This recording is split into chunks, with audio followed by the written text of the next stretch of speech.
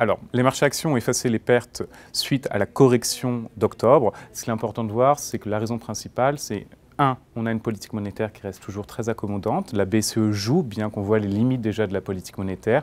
Et deuxième aspect, les résultats d'entreprise en France ne sont pas si mauvais que cela. Globalement, on est dans le consensus. Il y a certaines entreprises qui tirent leur épingle du jeu, mais tout cela soutient malgré tout une hausse des marchés actions.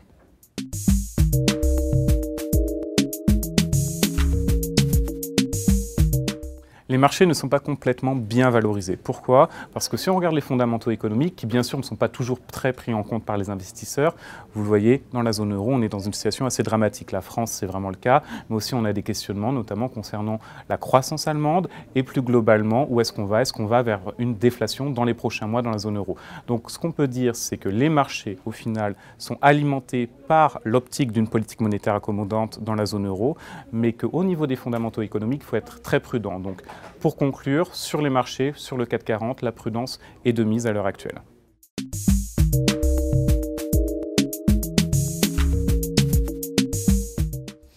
Les valeurs qui profitent de la baisse de l'euro, c'est tout simplement les valeurs exportatrices. En France, je penserai notamment à Airbus, puisque c'est très connu qu'Airbus est un des grands acteurs qui profitent d'une dévalorisation de l'euro. Concernant la baisse du marché pétrolier, qui devrait vraisemblablement durer, donc il y a de réelles opportunités à cet égard, on pensera pour le 440 par exemple au, secteur automobile qui profite en général de tels mouvements. Ce qu'il est important de voir, c'est que les mouvements sur l'euro et les mouvements sur le pétrole sont des mouvements qui vont être certainement de longue durée. Pour le pétrole, on considère qu'on va franchir au niveau du Brent les 80, s'orienter vers les 75. Pour l'euro-dollar, on a une optique sur 3 à 6 mois autour des 1,20. Donc vous le voyez, ça va influencer durablement ces euh, valeurs actions au niveau de la Bourse de Paris.